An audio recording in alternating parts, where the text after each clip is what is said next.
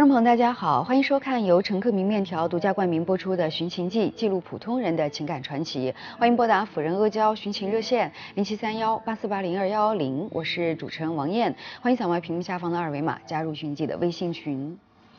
罗华今年三十二岁，名校毕业，目前在机关从事法务工作。她是众人眼里的公务员，又是传说中遥不可及的女博士。可是，就是这样一个光鲜亮丽的人生赢家，在邻居眼里却有着诸多奇怪之处。大家都知道她结了婚，却几乎没有人见过她的丈夫。眼看着孩子都四岁了，幼儿园的老师却认不出孩子的爸爸。有人问及这位神秘的老公，她自己也是一问三不知，就连丈夫的工作都是个未解之谜。那么，罗华的丈夫究竟是一个怎样的人？夫妻俩如此奇怪的背后，又有怎样不为人知的故事呢？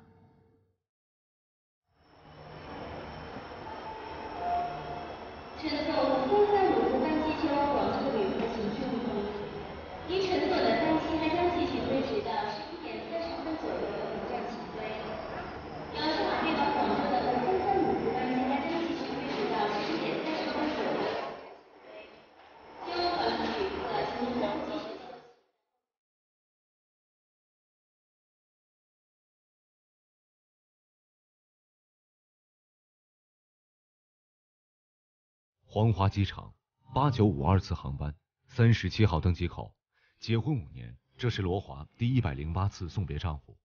熙熙攘攘的人群中，熟悉的背影渐渐模糊不见。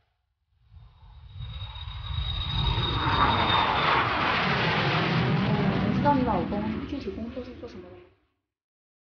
具体不知道。那你能够随时随地的联系上你老公吗？不太可能。那你能够确定他下一次回来具体是什么时候吗？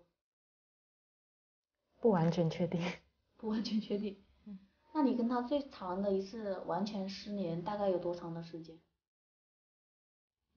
四五天到一个礼拜左右吧。罗华不知道丈夫从事的工作，不确定丈夫的归期，不能随时联系丈夫，有时候丈夫彻底失联。朋友们戏称夫妻俩太另类。其实我觉得我们可能在别人眼里面是很很另类的存在。对我我闺蜜和朋友都曾经对我说过，如果他们是我们这种婚姻状态的话，可能没办法继续继续。嗯。就连住在隔壁的邻居也觉得奇怪。有时候一个多月、两个月，有时候回来吃。没有几次嘞，他爸爸很少回来。他们家老公具体做什么的，你清楚吗？不清楚。你们问过没有？没有。就是不清楚。嗯，不清楚。结婚以后就一直没有生活在一起吗？是。邻居说，虽然同在一个楼层生活五年之久，但是平日只有婆媳和一个孩子进出，大家都极少见到男主人。有邻居甚至根本不认识罗华丈夫。幼儿园里的老师也说，孩子的爸爸极其罕见。幼儿园的照片墙上，唯独没有罗华一家三口的全家福。啊，一般呃妈妈接或者爷爷接，他妈妈带的比较多，因为奶奶妈妈带的比较多，他很需要这种父爱在里面。但是因为妈妈平平常也跟我们聊过，嗯，这种就就就就是父父亲给的爱可能相对说少一点，所以妈妈担心他这个安全方面啊，性格方面受到一定的影响。罗华的丈夫为何如此神秘？他究竟是一个怎样的人？他又在哪里做些什么呢？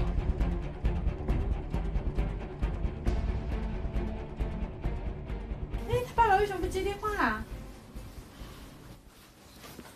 不接电话的情况多吗？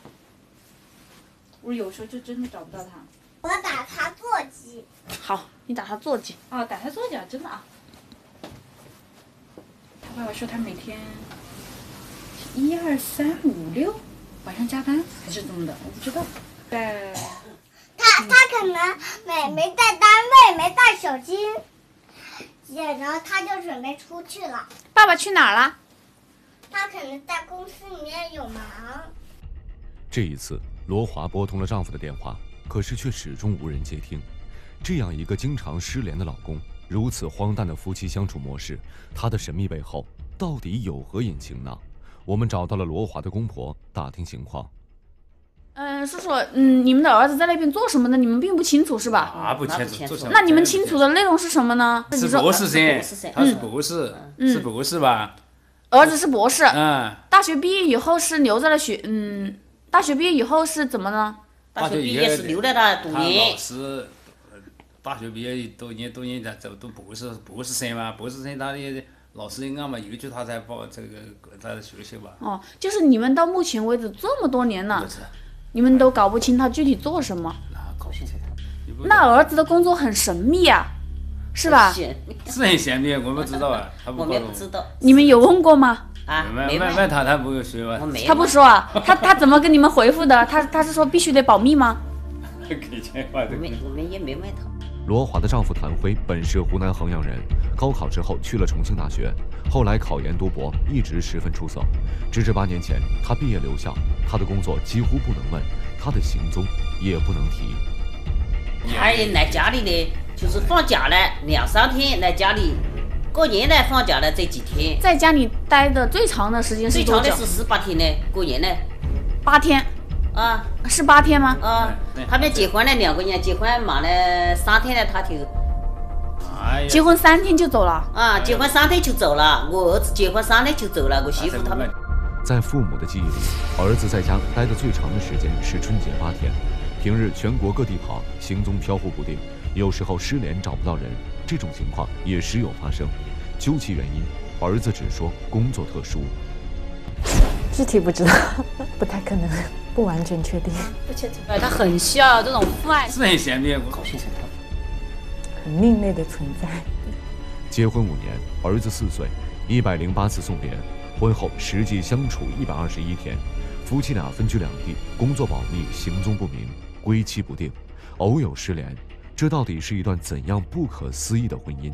丈夫谭辉究竟是一个怎样的人？他的神秘背后，究竟隐藏着多少故事呢？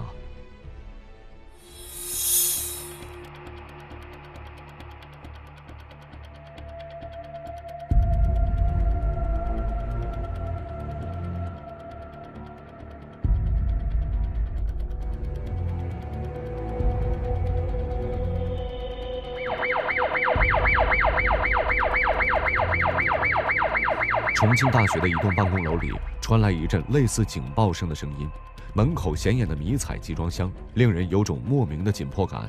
这里正是谭辉办公的地点。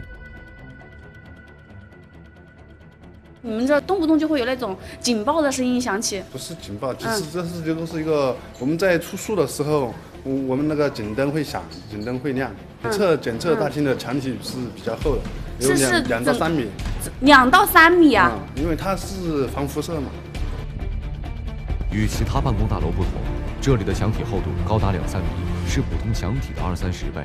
一旦进去，任何电子设备都会信号全无。门口赫然挂着保密守则，气氛严肃。关于这里的工作内容，门卫更是只字不提。经过一番沟通，我们被允许进入谭辉的办公区域。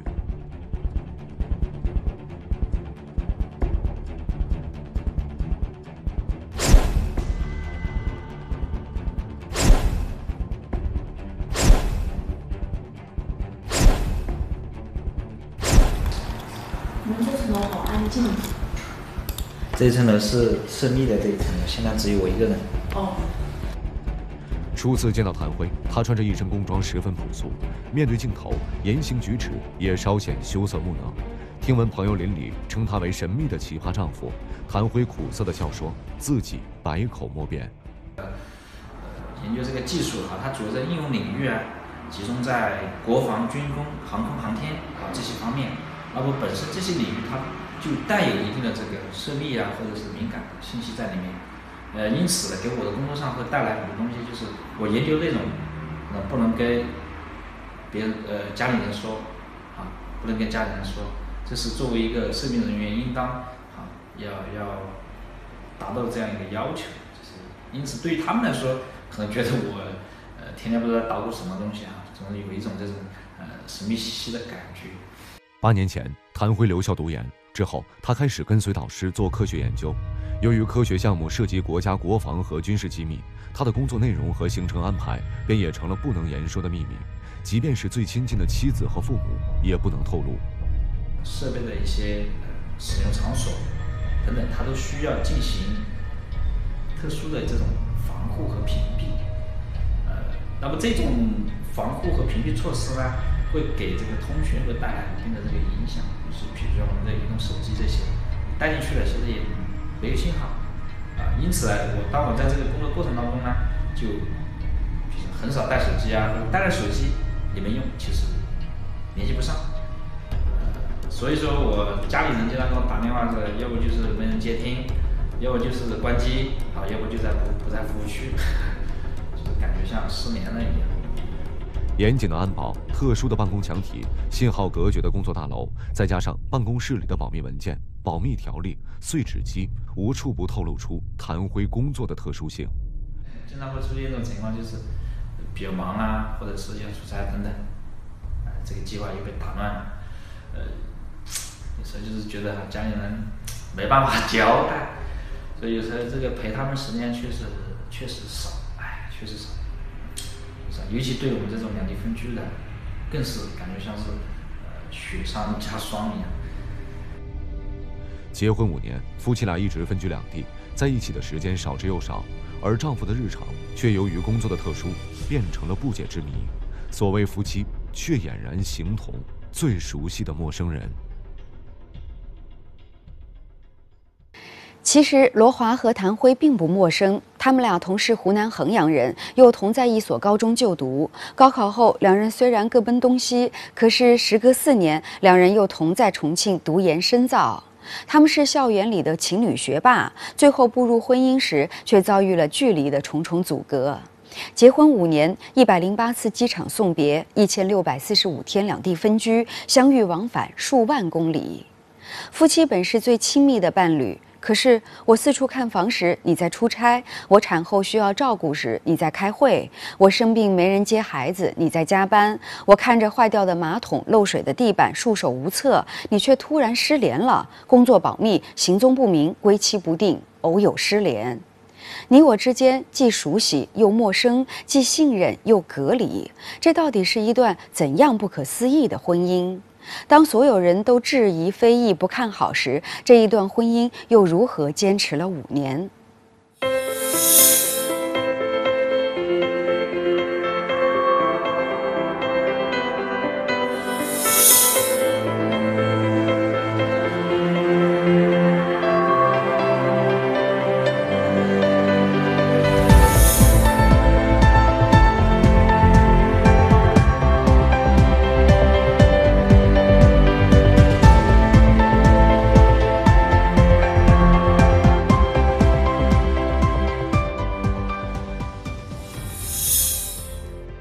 罗华在湖南省人大法制委社会立法处工作，目前正在攻读西南政法大学刑法博士。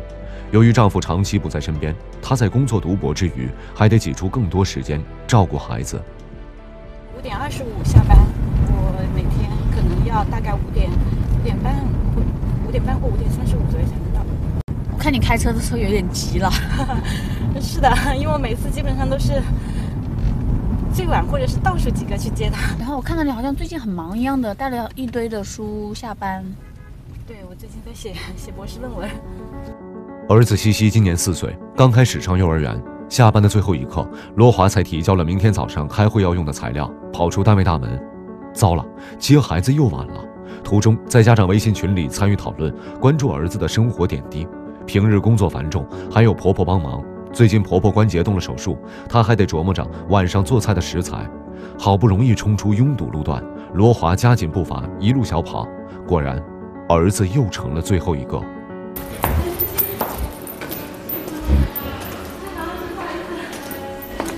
嗯。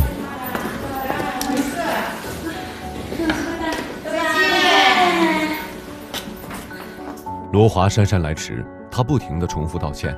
幼儿园老师微笑表示理解，儿子西西也早已习惯了妈妈的忙碌，母子俩行色匆匆，一路疾驰。途中，罗华接到三个工作电话，转错了两次回家的路口。西西，妈妈好像走错路嘞。没有，没有走错路吗？没有，走错了没有？这是哪里？桂花公园。你们家是怎么走啊？我搞忘了走滴水井那条路了。就到嘛。好的。他记录比你厉害哦。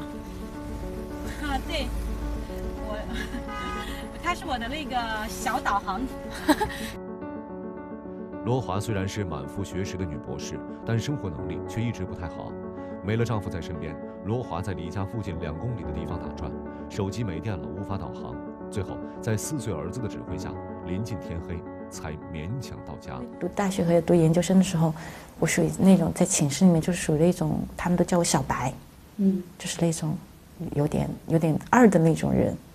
然后生活自理能力不太强，因为我不太会炒菜。那个时候，为了让小孩子吃好一点点，我就自己学炒菜。刚开始的时候，经常吃那种烧糊了的菜，然后有时候就去去去同事和朋友家里面。那个时候，嗯，崩溃过一一一两次，哭就是自己躲在被子里面，还是还是还是觉得有点点难受，哭过哭过一两次。但是我知道他其实很想照顾我，只是嗯，因为工作原因。还是还是不能过来，所以觉得还是应该要体谅他。没有你在身边，其实他的日子很难过。对我老婆，我没她在她身边，她确实表现的非常坚强，很坚强，确实内心很苦啊，内心很苦。因为我老婆确实，她生第一胎是很辛苦，对，真的很辛苦。我说实话，现在想起来，我感觉这不是一个男人做的事情。那时候，罗华怀孕，一个人待在长沙，饭菜烧焦了，难以下咽。当她满腹委屈，试图联系丈夫，电话却始终无人接听，他只能咬着牙一口一口吞下去。后来，为了孩子，他开始像研究学术一般学习各种生活技能。可是，上班、读博、照顾孩子、操持家务，种种重担压在一个女人肩头，她真的是分身乏术。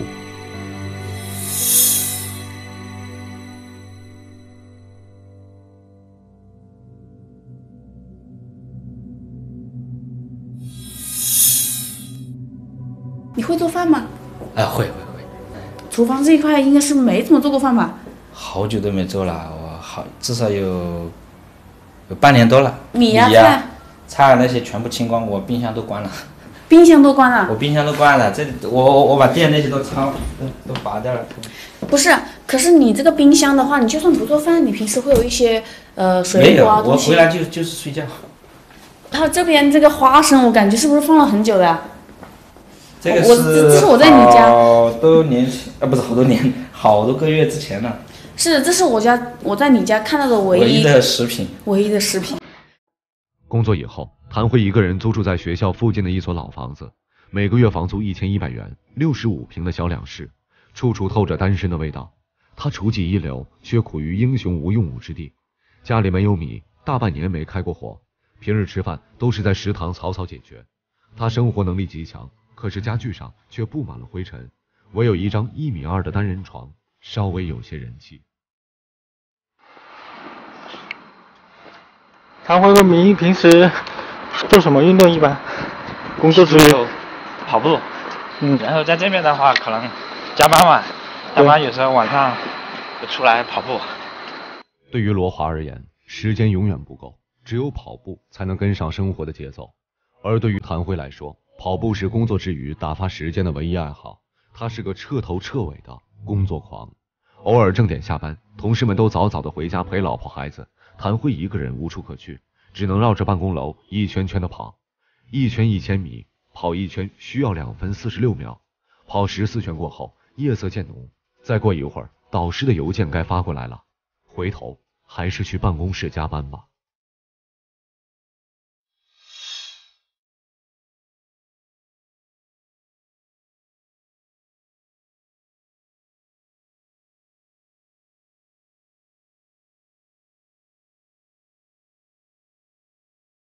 从重庆到长沙，九百四十公里，航程仅需一点五小时。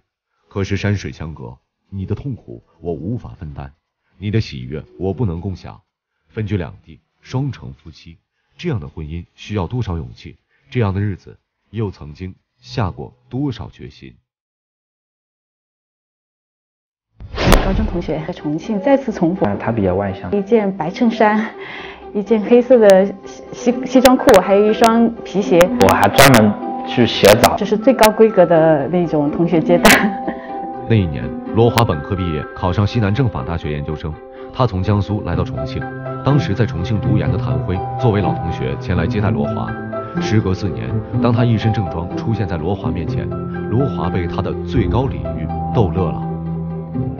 第呃第一次约会的时候，我们我们的路线安排，嗯，行程规划，几点钟到几点钟去干什么事情，他都像那种做程序一样，编程序一样，都这样子编下来了。非常的细化。对，细化，然后也我感觉有点点严谨刻板那种感觉。零八年的时候，应该是冰灾的时候吧。那个时候我要去北京去参加一次公务员的面试，然后，嗯，因为那个时候从重庆坐火车到北京大概要坐三四，可能要坐三四十个小时，我不记得了。嗯，他为了帮我去买一张火车票，他就说让我自己先休息，他他去帮我想办法。结果第二天他就拿了一张卧铺票 到我手上，对我我当时很惊讶，因为我同学买的都是硬座票，然后我就问他怎么买的。他就跟我说，他说他在那里站了一晚上，那个时候还蛮感动的。谭辉是木讷羞涩的理工男，爱情初来乍到，他像对待科研项目一样严谨慎重。一张卧铺票，一张行程表，一个蜡烛摆成的心形，集合了他的所有用心，也有一种令人局促而幽默的浪漫。多少年过去，罗华一直把这种爱和感动记在心里，支撑着他。走过了婚姻中双城生活最难过的时刻。父母有反对你们的在一起吗？父母，父母觉得他人还不错，嗯，但是可能就是觉得两个人以后的，就是说可能工作规划不会太一样，嗯，因为工作两个两个人不在一起，嗯，那两年。我觉得可能是我人生中流眼泪流的最多的两年，嗯，有时候走在路上也会无缘无故的流下眼泪，晚上睡觉的时候基本上是带着眼泪睡觉的。当时有犹豫说要放弃跟他之间的感情吗？嗯，嗯，没有犹豫过，还是希望可以在一起，所以坚持了很久，然后父母也是还是。应该是说被我们感动了吧。罗华父母曾一度反对两人在一起，觉得不切实际。无数个夜晚，罗华含泪睡去，最终父母被他们打动。我觉得这是他心里面心里面的梦吧，因为对于他来说，好像从从我认识他开始，他就很喜欢这个工作。因为你如果很喜欢一个人的话。嗯，就会为他，就是说，去希望，就是说，第一个去适应他的一些工作状态，第二个也希望去可以支持他，两个人一起去共同进步。嗯，我觉得，我觉得我们两个人经常在，有时候也会讨论，为什么我们两个人可以从分开比较久的这样的一个状态，嗯，然后两个人还可以一直走在一起。我们觉得，可能最重要的还是内心的那种感情。谭辉有理想，有信念，这是罗华所爱的人的样子。作为妻子，她愿意义无反顾地支持他。双城婚姻生活，罗华没有抱怨，心甘情愿为他付出。写信是从什么时候开始养成这个习惯呢？我们谈恋爱的时候也会写信给对方，通过发，有时候是发 email，嗯，有时候是就是说写纸质的信，但是不邮寄，然后装进一个信封。给给对方 写完信以后，就是你可能可能能把你这段时间心里面最深处想要的东西都挖掘出来。但如果这样子深度沟通以后，就会觉得他跟你精神上就是其实越来越契合。在信息快速化的时代，罗华夫妻却保持着写信的习惯。信中的内容不再停留于家庭琐碎，而是对生活和事业的感悟，思想观念上的高度契合，让生活少了很多烦恼。虽然分居两地。但两人感情比以前更加牢固了。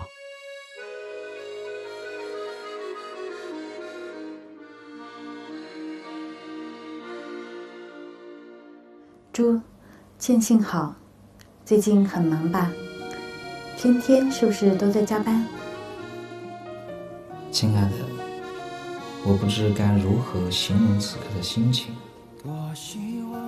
妈妈才做完手术，儿子要接送上下学，你的博士论文又处在一个关键时刻。可想而知，你的内心承受了多大的压力。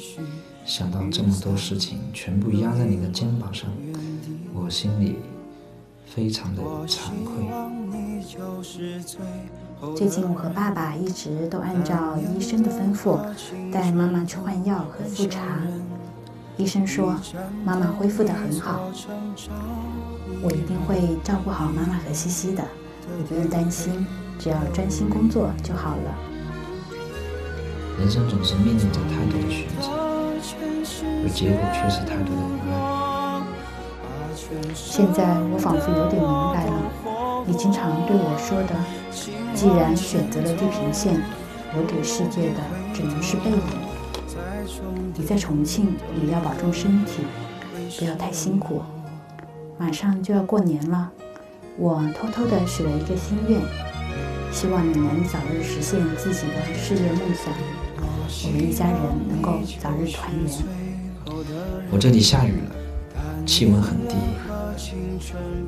看天气预报说长沙也很冷，你一定要多穿件衣服，保重身体。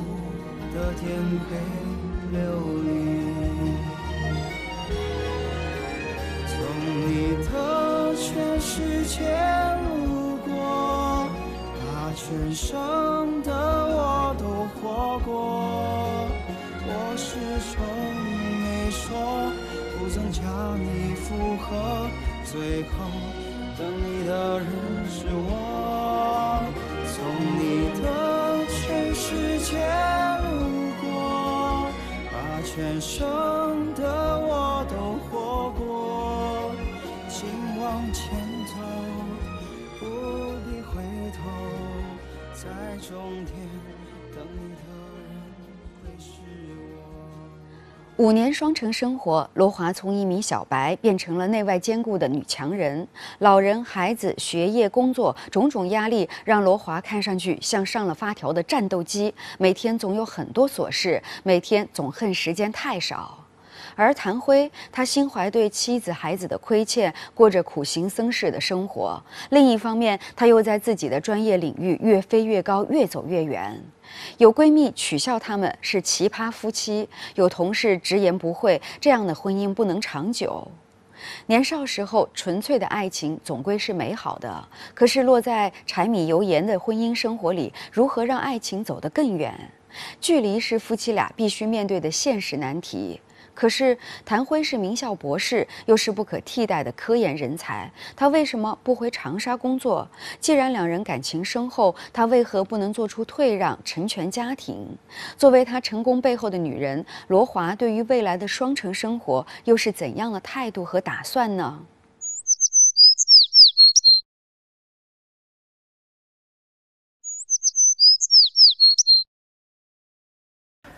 怎么像像我们以前小时候的时候，就是要读书，要自己挣学费。那个时候，到山上去砍竹子，竹子从山上要拖下来，那这么大一根，就是一尺一尺二的那种竹子，要拖两根竹子下来去卖钱。暑假基本上就是说，为了下学业交交学费的话，暑假就必须要这么去干。就是读初二的时候，我不是跟你说过，就是以前看过那个《平凡的世界》，就是那本书改变了我的想法，所以我就当时要考高中。考高中，呃，上大学嘛，好的是这个。谭辉今年三十三岁，出生在湖南衡阳的农村家庭。由于家境不好，在高中以前，他甚至没见过足球，也不知道一个农村娃还有什么比打工更好的出路。直到偶然间读到一本《平凡的世界》，他才知道知识可以改变命运。从乡村中学考入名牌大学，读研读博，他一路以学霸著称。二十一年奋斗学习。他从贫穷自卑的农村孩子蜕变成为国家科研工作者，这种尊严与荣耀让他对自我、对工作有了前所未有的认同。我想尽快在这边做出一个，就是说，不说里程碑的，就是说一个比较好的一个节点，比较好的一个节点，这样一个事情。还只能用节点来形容，还不能说某一。画一个句号，就是做做做出一个逗号出来就 OK 了。就是说我这个。就是我自己内心刚才想说的这个，我想不要把自己太太早的放在那种比较温柔的这种温存啊梦乡里面和这种，其实就是生活的这种理解可能可能不太一样。我我觉得就是说，年轻的时候吃点苦，奋斗一下，也许就是到了老年之后，你会感谢现在的这这一段自己的这种这种历程。对，所以说就是我个人觉得，就是说这种这是一种苦行僧的做法。其实内心内心其实很痛苦的，很痛苦的。其实说实话，就是你你选择这个这条这这种，对于很很多人来说，可能会非常非常不能理解，非常。细细数来，谭辉的人生几乎全在校园里度过，而多年来的学术研究让他成了一个简单而纯粹的人。他选择了自己喜欢的专业，而自己的这一点点喜欢还能被需要，有价值。他的生命因为这份需要而有了光，可是他不仅被工作需要，他也被家庭和妻子、孩子同样需要。真的是随时都可以发现，比如说，就是可以，小孩生病的时候，是吧？老婆觉得很累的时候，我妈生病的时候，对不对？还有包括就是说工作上你遇到很多困难，哎呀，我为什么我撇了家人，我在这里在这做什么呢？做什么呢？我为了什么呢？我我得到我自己想要的东西没有？我自己内心经常会这样去去问自己，问自己。所以说，就是说，你让你放弃的理由可以有一千个，有一万个，但真正能让你坚持的原因，也许就那么一个，甚至只有半个。你还不知道坚持下去会有什么结果。谭辉说：“放弃的理由有千万个，坚持的理由却只有一个半个。他想用人生最好的八年给自己一个交代。可是，坚持下去会有什么？他的理想能够支撑这个家走到哪里？”他也没有答案。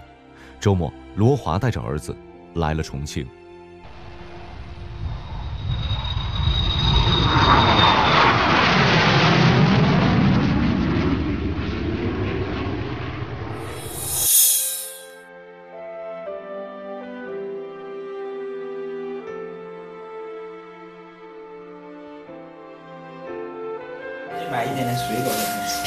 们喝水都是要从外面买吗？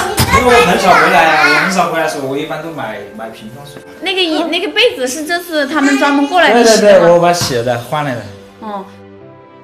妻子儿子来了重庆，谭辉特意打扫了卫生，洗了被子，买了水果，因为有了罗华和儿子，这所简陋的房子里顿时有了人气。这个杯子，啊，对他现在一直还在用。我记得是我们刚谈恋爱零六年的时候。零六年我送给他的，他现在 我没想到到现在还还一直在用。夫妻俩恋爱第一年买下的杯子，谭辉用了整整十年，十年如一，也是谭辉和罗华对彼此的承诺。罗华来重庆，一家三口就挤在这张单人床上，罗华也不嫌弃。他说：“我觉得这里很简陋。”他这个，他这个人很对自己，我觉得并不是说。特别，就是说特别特别大方对自己，但是对我们就是很倾尽所有的一种。其实我还是有点心酸，嗯，对，因为这么多年他工作一直一直都很努力嘛，然后但是因为家没有安在重庆，我觉得总是有一种让他感，就是我感觉他居无定所，流离飘，就是好像没有根一样那种感觉。求自己的事业，远离家庭，留下妻子独自承担一切。但是在罗华心里，他却更多的是觉得心酸。繁华闹市，谭辉独守着这份清幽和寂寞，对家庭的亏欠、外人的质疑，他都一一承受。所幸罗华理解他的努力和付出。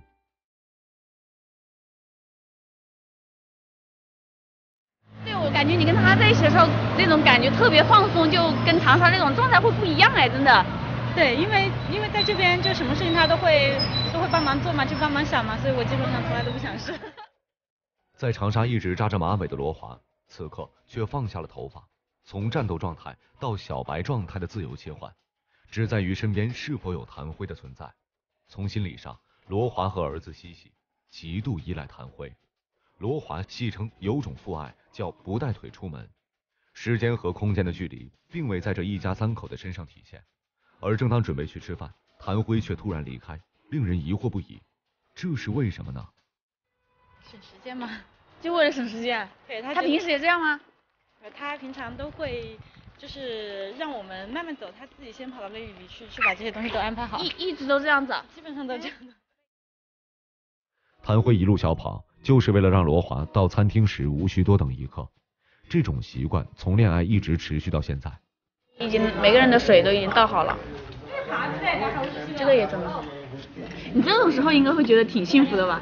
对，我说了，我跟他一起在一起的时候，我都一般都不带脑的，就是那种，比如说他他回来呀，像在家里面我就可以睡懒觉，他就跟我说让我睡懒觉，然后他早上起床去买菜啊什么。虽然陪你的时间很少，但是每一次的陪都会让你觉得很幸福，每次陪都很尽心尽力。在相聚甚少的日子里，谭辉总能让罗华有女王般的幸福感，感情依旧保持着最初的鲜度。今天对谭辉来说是个特别的日子。老婆，生日快乐！谢谢。好不好？感谢你这么多年对我的支持。嗯，好吧。闭上眼睛，许个愿。先许个愿。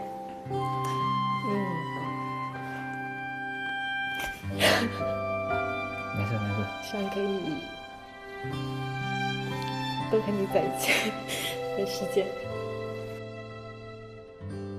十年前，谭辉曾在海边摆下蜡烛心形，当时的罗华被这个理工男笨拙的浪漫打动。十年后，浪漫的方式没有改变，感动也一如从前，罗华热泪盈眶。呃，其实也是我们前面。我们前面讨论的东西，我有几个愿望，我做完了，也不是就在这一两年，差不多吧，我们就团聚，再大的困难我们都要团聚，真的是这样。对于谭辉的承诺，罗华坚信不疑，他们的爱情无需言语，任岁月流转，时空转换，他们依旧保持着初心。其实我一直觉得，就是比如说结婚，如果你喜欢一个人，去去支持他做他自己喜欢做的事情，而不应该把他翅膀剪断。所以，所以我觉得，嗯，只要他喜欢做的事情，我都会，我都会努力去支持他。夫妻团聚短短两天，回长沙的当晚，罗华写论文写到凌晨一点，比以前更加艰辛，更用心生活。生活也给了他们回报。谭辉获得重庆市人民政府科技进步一等奖。二零一六年十二月十二日，罗华家庭被评为第一届全国文明家庭。从学生时期的纯纯爱恋，到历经考验的异地恋，再到饱受婚姻的现实磨砺，他们之间一直有着共同的信念。他们非常坚定，对方就是那个陪自己走到最后的人。所以，他们的婚姻更多的是信任和理解。不仅婚姻稳稳的前进，他们还互相鼓舞，成为了更优秀、更强大的自己。在他们的身上，我们看到婚姻不只是柴米油盐酱醋茶，同样也可以有理想、有情怀、有梦想，因为对方而愿意变得更好，爱那个优秀的他，也爱那个优秀的自己。